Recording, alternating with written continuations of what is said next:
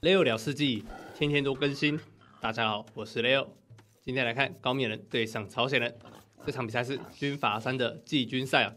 OK，这把比赛是非常精彩的，两边 TC 非常相近的地图啊。这张地图呢，它的重点是有野外非常多的野猪哦。这个野猪呢，只要能在前期能抢到，是非常大的一个加成啊。那这边可以看到，每一个窄口上都有这个野猪在哈。好，那这边塔超是选择了高，呃，朝鲜，那塞拉斯汀是选择了高冕，两位都是非常顶尖的选手。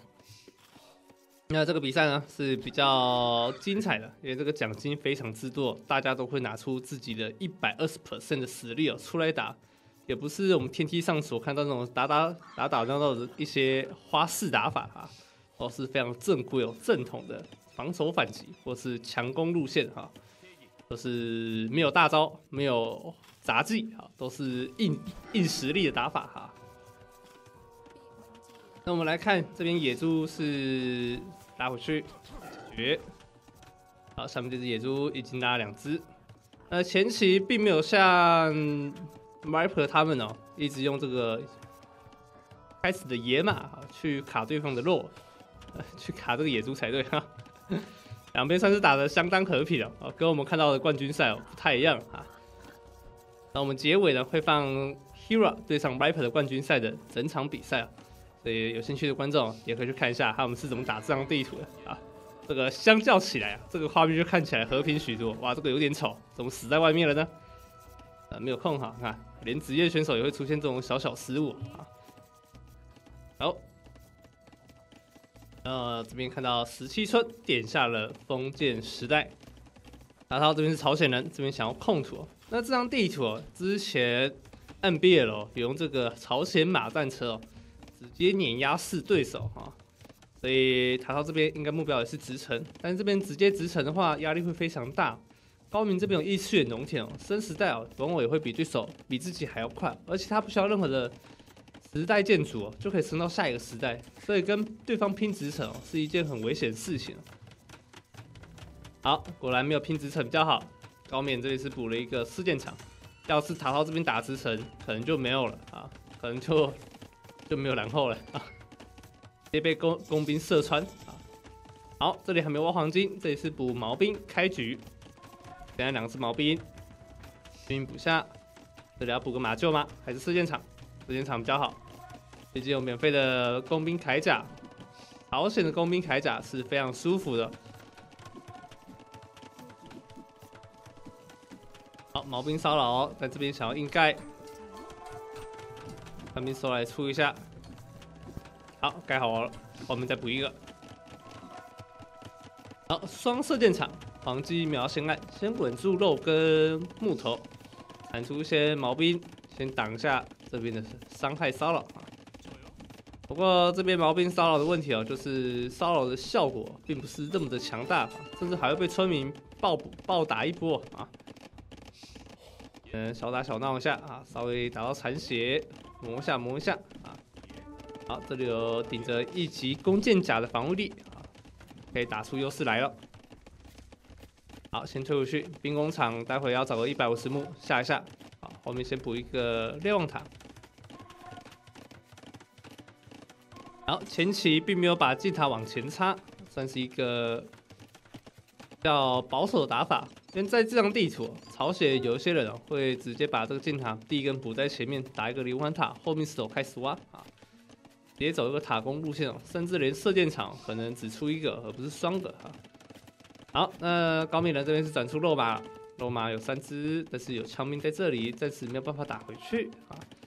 呃，塞巴斯汀这边重点是要先把枪兵解决掉，肉马才可以上前。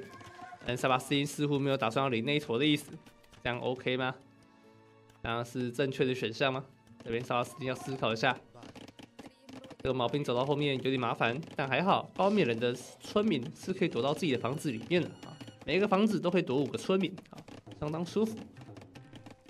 好看一下，这里开始弄了，好躲一下，躲一下。但是没办法，哎，出来打猎，什什什么什么东西？好，继续骚扰。哎呦，再打下去可能会死村，不行吧？塞巴斯汀这么一大坨，不解的话，要小心哎，这个会弄到生活法治里。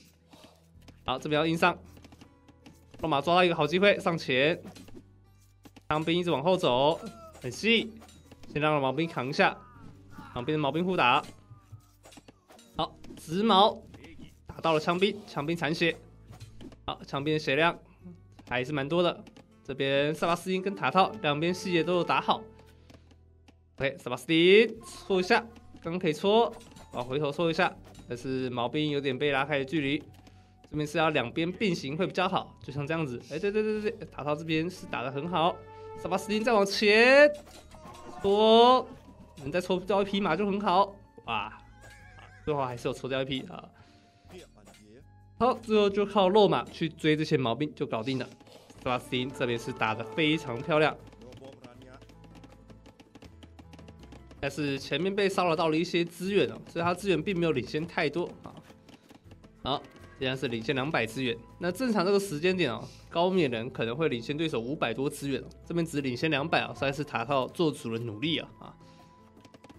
好，那朝鲜这边是点下了一级色，现在对方转出大量马凯，朝鲜人要跟对方打马没有太多的优势，异次元农田肉量太多了啊，看要不要转出帝王时代啊？啊不不是城堡时代啊，去直接插宝打这个马战车可能更有用。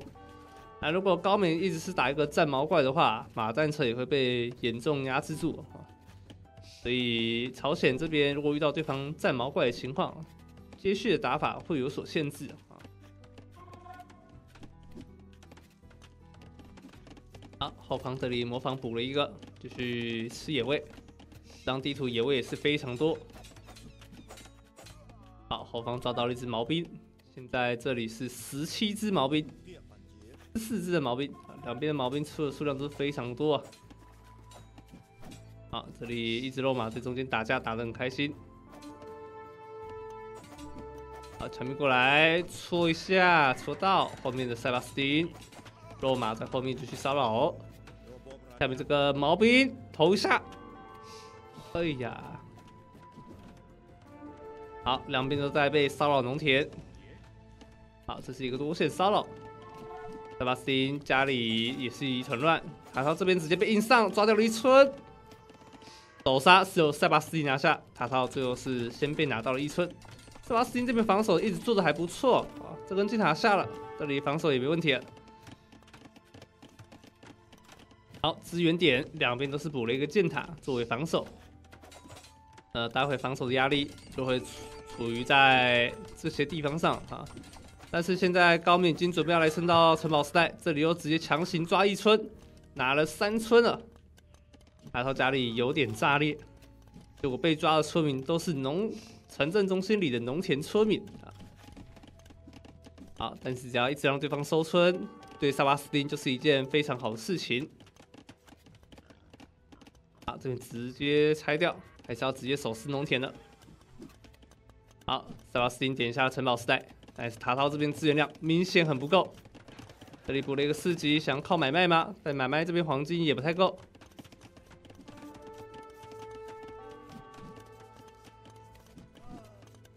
那这张图的资源点哦，最重要的地方就是要控黄金哦。哇，这里又抓一村，太厉害了吧！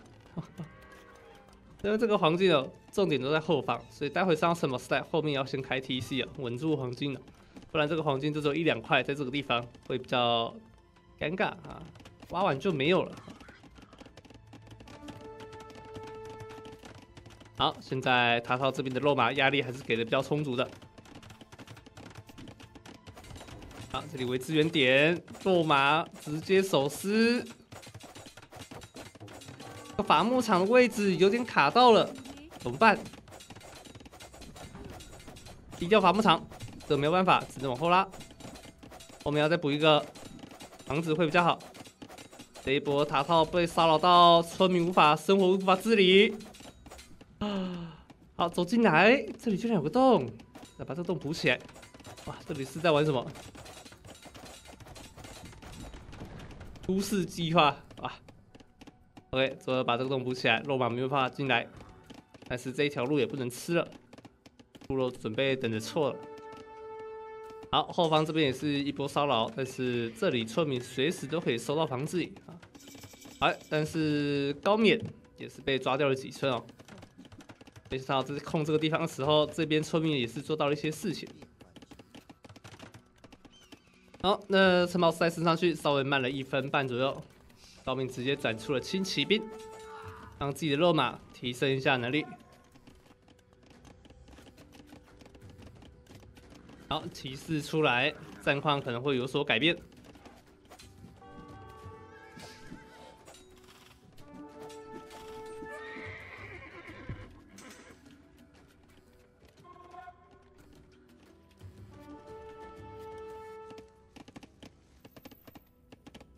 好，城堡时代一下，但是现在石头挖不出来，等这东西不能盖。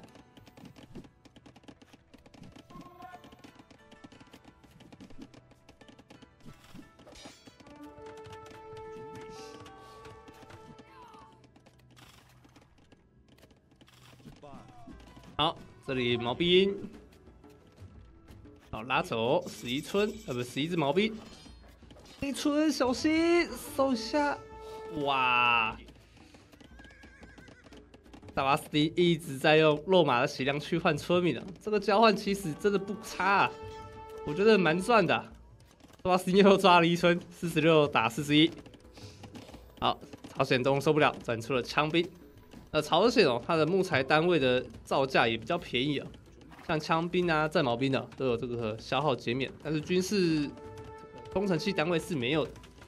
虽然它投石车射程很远，但是并没有办法吃到这个减免，稍微可惜了一点。好，后面一大堆的村民，上亿人在这边发呆，有一个很好的防守地方，大家要不要补一个城镇中心在这个位置呢？买个一百十。补 TC 一下，好，下方这个枪兵毛兵稍微收一下，把 TC 补在了右边。哎，要不要补这里？可以省采矿地，挖矿挖矿机也比较安心。好像没有看到吗？我怎么觉得塔套这一波盖下去可能会有点炸裂？好，骑士过来要全吃了，这一波是真的要全吃，骑士直接硬吃，先把枪兵解决，这样三只骑士就可以无双。开打这些毛兵，毛兵就要一直撤了，不要回头再打了。这里枪兵赶快按过来支援就行。然后家里现在一团乱呐，资源量已经差距来到了快要一千资源了。然后朝鲜已经点下了战矛兵，枪兵过来拯救一下，戳一下再戳一下，戳到了一些伤害。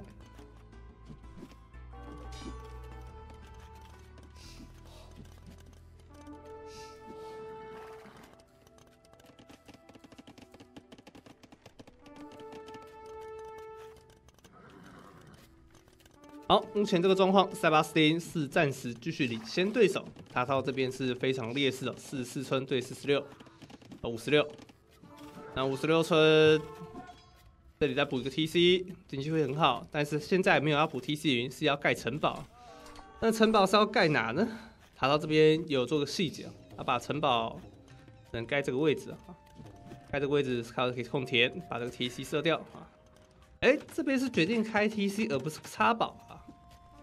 还想说他要直接往前插了啊！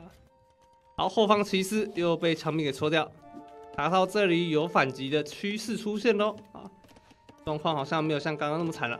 好，右边再补一个新的城镇中心，放一个三 TC 防守反击。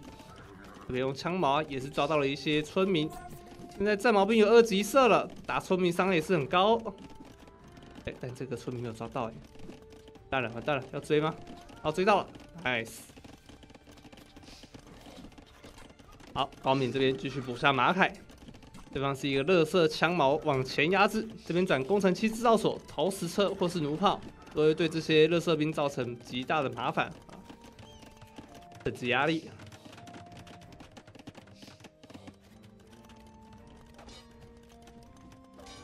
好，朝鲜补下了一级步兵铠甲啊。好，这里又抓到村民塞巴斯汀，这边村民数量好像开始受到了大量骚扰，按村民数目前还是领先。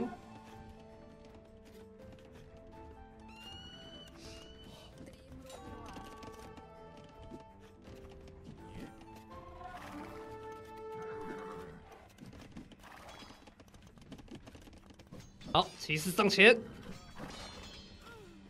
跑掉这一波打起来非常舒服。哎这两只村民在干嘛？啊他的村民怎么跑去控人家的农田呢？好，直接被弩炮射穿，果然还是要盖堡。想一想，还是盖堡比较舒服。等这个堡一盖下去，中间这些田就要放弃了。打到这边就要浪费更多的木头去撒农田。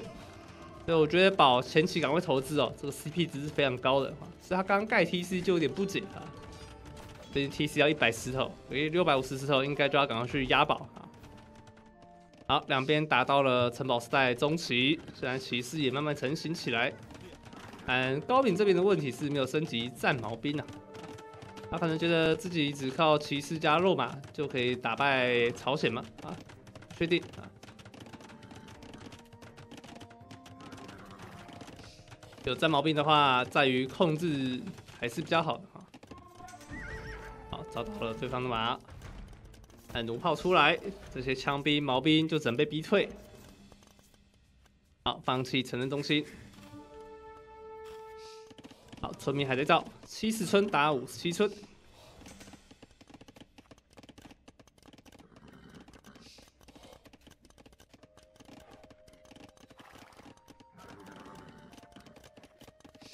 好，村民过来，撞到了城镇中心。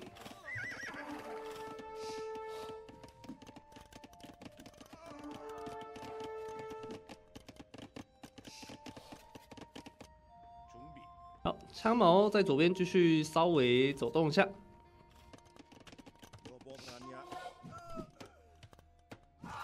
哇，这个一个散弹收掉，OK。好，那村民数现在越差越大了，八十对六四，这个距离是越来越远了。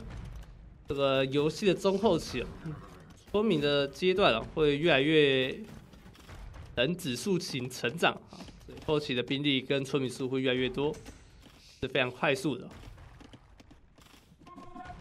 那经济这么好的情况下，其实高敏也有选择，就直接手撕人家城镇中心。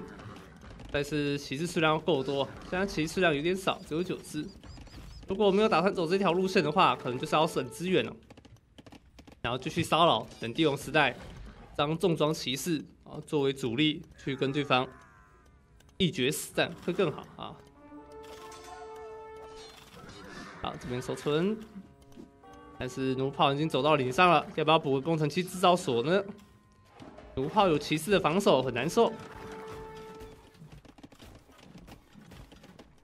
好，这边一直让塔套收村，就可以让高敏的经济越来越好。资源差距已经来到了快要四千资源了。哇，看似朝鲜没有被骚扰到的感觉，村民没有死伤非常多，但其实已经差距很大了，两边都是死了十八村左右。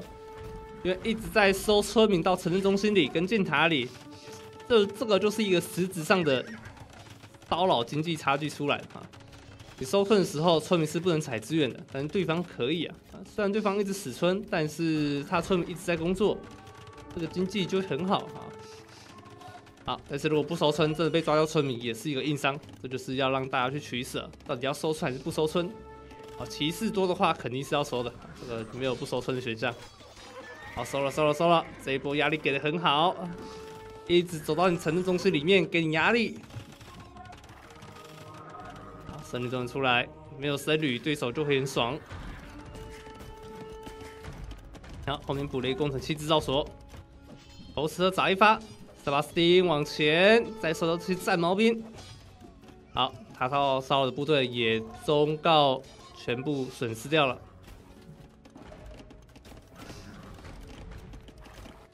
好，这里来继续补手推车，塞巴斯汀是走了一个骑兵骚扰，然后补经济科技。走帝王初期决战的路线了，而不是城堡时代暴骑士守势城镇中心路线，因为这个路线是相当有风险的，可能会让对方获得了更多时间，借由这个时间去反击出来的。毕竟现在还是有枪兵，塞巴斯汀还是打的比较稳定的，不会去开这些什么守势城镇中心的大招。好，塔套最重要的单位中出来了，马战车。有马战车就可以稍微跟对方稍微反击了啊。啊，但是骑士的攻击速度还是太快，马战车有点扛不太住。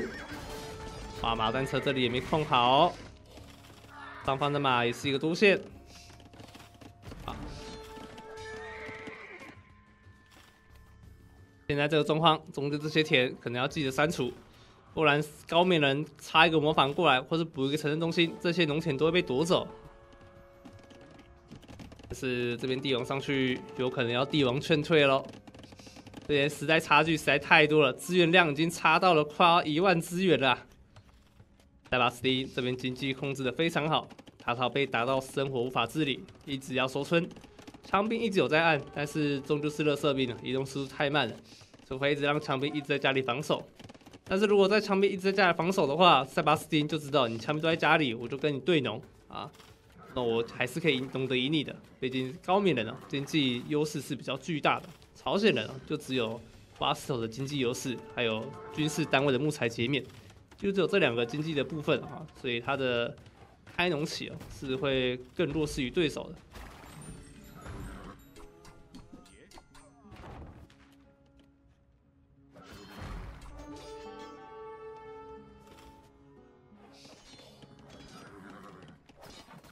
好，二攻也补下了，塞巴斯汀帝王升上去，打套会有什么样的反击策略呢？可以再继续招降逼退。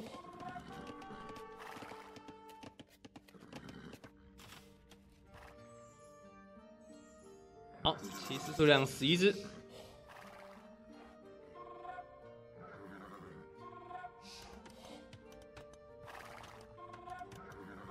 好，护卫技术不下。重装骑士来了，阿涛能撑得住对方重装骑士一波吗？如果骑士一升级好，阿炮可能就危险了，真是危险了。